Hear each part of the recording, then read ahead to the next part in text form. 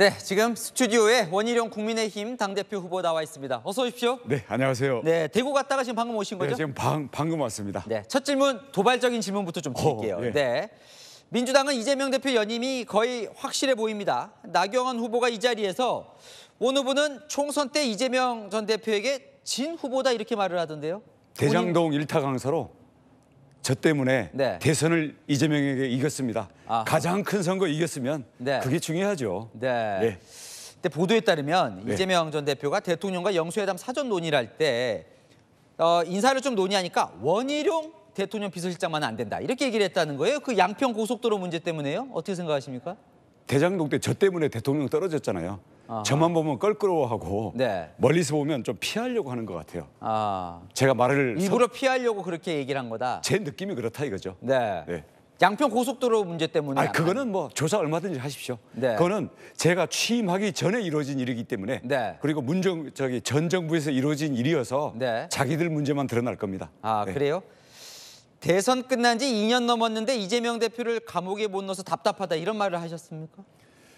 어, 그게 당원들의 가장 지금 네. 어, 속에 있는 진심이고요. 네. 어, 저도 사법부가 도대체 왜 있는지. 네. 왜냐하면 박근혜 탄핵할 때 네. 이재명 당시 성남시장이 네. 가장 먼저 탄핵해서 박근혜를 감옥에 넣어야 된다라고 주장해서 대선 주자로 떴는데 네. 그때는 이 어 뭐 검찰이 네. 총알같이 수사하고 국회에서 탄핵해가지고 네. 정말 정권을 임기를 단축시키면서 끝내놨는데 네. 지금은 법원이 있는 건지 검찰이 있는 건지 네. 답답합니다. 그건 이재명 전 대표를 비판한 겁니까? 아니면 2년 동안 법무부 장관을 지낸 한동훈 후보를 겨냥한 겁니까? 어, 법무부 장관도 국무위원이죠. 지난번에 네. 이재명 체포 동의안 국회 와서 그렇게 역설을 했지 않습니까? 네. 재청구까지 하면서 네. 법무부의 일반적인 검찰 지휘와 네. 지금 검찰총장 아마 여기도 아마 한동훈 어, 법무부 장관의 인사 추천으로 네. 어, 된 걸로 그게 많이 알려져 있는데 책임은 같이 져야 되는 거죠. 네, 같이 져야 된다. 네. 자, 그러면 만약에 대표가 되신다면 네. 108석 여소야대 국면에서 이재명 민주당과 어떻게 상대를 하실 생각이세요? 국민을 위해서 협력할 정책은 협력하고요. 네. 대신 이재명이 이재명 지금 어버이당 대표가 네. 어, 지금 자신의 사법 심판을 피하기 위해서 특검이니 온갖 입법 폭주를 해서 네. 탄핵으로 몰고 가려는 그 각본에 대해서는 저희가 단호히 맞서야죠. 단호히 맞선다. 네. 자신 있으시다는 거죠. 이재명은 저만 보면 아마 멀리서 껄끄러워서 다리에 아마 힘이 네. 풀릴 겁니다. 이재명 민주당 쪽에서는 망언이라고 지금 그 감옥 얘기를 하니까 또 얘기를 하고 발은 좀 있습니다. 센데요. 네. 당원들이 다 그러고 있어서 제가 얘기하다 보니까 표현은 좀 거친 건 죄송하게 생각합니다. 협치도 해야죠. 아 그럼요. 네, 협치도 하셔야죠. 자, 그런데 등판을 예고했던 다른 후보와 달리 좀 갑자기 이 전당대회 출마를 선언하신 감이 있어서 바로 전날 대통령을 만나다 보니까 대통령이 권유해서 나온 건 아닙니까 정말?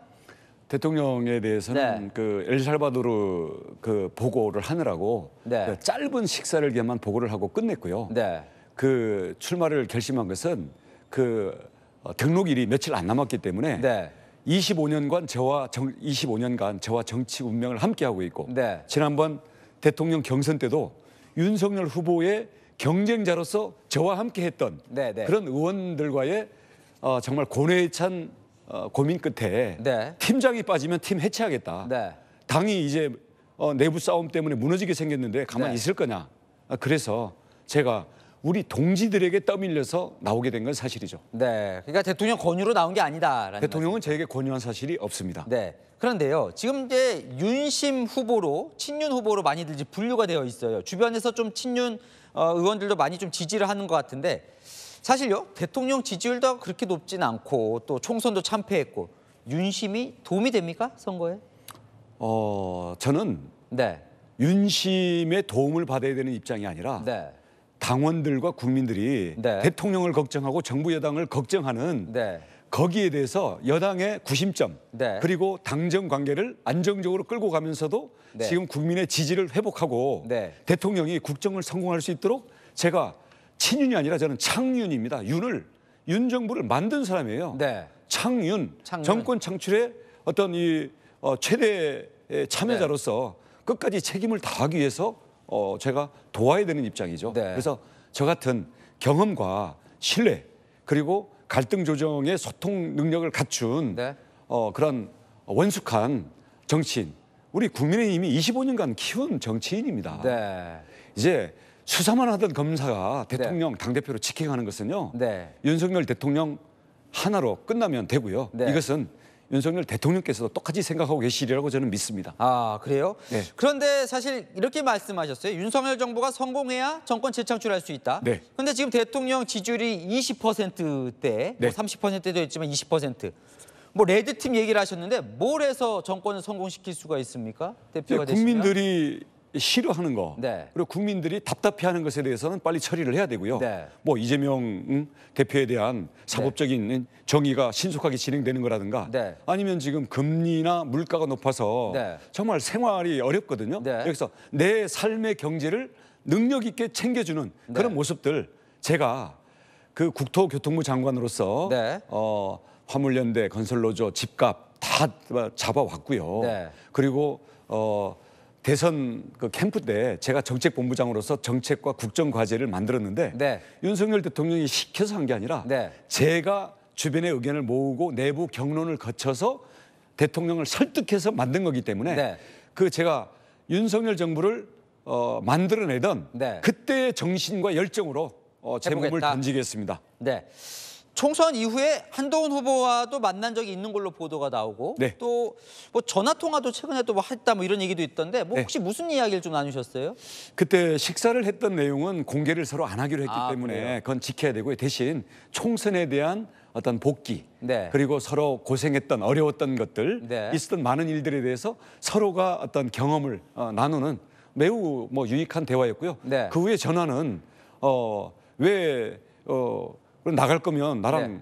최소한 상의나 통보도 해야지. 네. 그때는 안 나갈 것처럼 해놓고 이렇게 하면 되냐? 네. 어, 그리고 나가려면 당정 관계 갈등은 묵은 갈등은 해소를 하고 가야 되지 않냐 네. 등등의 이제 이야기를 어 뭐 하거나 전달을 했는데요. 뭐 네. 아랑곳하지 않으니까 네. 그래요. 그래요. 근데 여론 보면 한동훈 후보가 지금 우세한 걸로 나오고 있는데 그러다 보니까 나경원 후보와 결선 전 연대 가능성 아까 좀 열어두신 것처럼 얘기를 하시던데. 저는 늘 열려 있습니다. 네. 왜냐하면 특정인이 이기고 지고 이거 뭐 개인의 이 성적 경쟁을 하는 게 아닙니다. 네. 우리 당원들과 국민들의 걱정 그리고 당정 관계를 우리 내부 싸움 하다가 내부 전쟁 벌이다가 모두가 어, 어, 괴멸하는 일이 없도록 네. 하기 위해서 나선 거기 때문에 네. 저는 누구와도 손잡고 누구와도 어, 협력을 할 생각입니다. 다른 지금 시간은 다 됐는데 다른 후보에게도 물어봤기 때문에 안 여쭤볼 수가 없습니다. 한동훈, 나경원, 윤상현보다 원희룡 후보의 강점 좀 길지 않게 부탁드립니다. 저는 어, 네. 정치 경험이 어, 가장 많고요. 네. 국회의원, 도지사, 어, 대선 후보 어, 그리고 어, 장관까지 했고요. 네. 저는 무엇보다도 다양한 당내의 갈등과 여야의 어, 싸움을 어, 통해서 저는 갈등 조정 능력 네. 그리고 이재명 그 대표가 끄는 민주당의 정치적인 술수에 대해서 네. 저는 노련하게 대처할 저는 전투력을 갖고 있습니다. 네. 제가 당의 구심이 되면 당원들과 국민들 안심하셔도 됩니다. 네, 알겠습니다. 여기까지 듣겠습니다. 원희룡 국민의힘 당대표 후보와 이야기 나눠봤습니다. 나와주셔서 감사합니다. 감사합니다.